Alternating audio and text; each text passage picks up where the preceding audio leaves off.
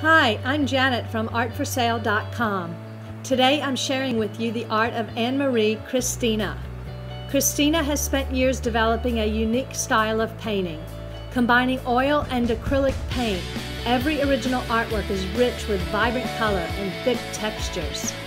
Utilizing techniques ranging from photorealism to impressionism, the combination of both is Kristina's favorite.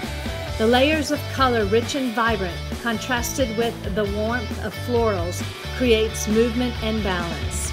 The baby grand piano is the central theme of Kristina's most popular paintings and has established her firmly in the art world as an exceptional impressionistic artist. Her paintings have been displayed in galleries across the country, on magazine covers, earning her one woman exhibitions across the globe.